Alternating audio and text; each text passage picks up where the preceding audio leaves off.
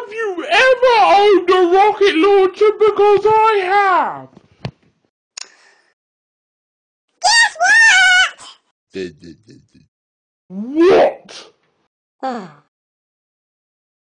found a secret pound! Whoa! What a loser! Have found a trillion pounds just now. Anyway, we should be doing this about a news, not about finding a pound. So what are we talking about? The script, of course. Oh.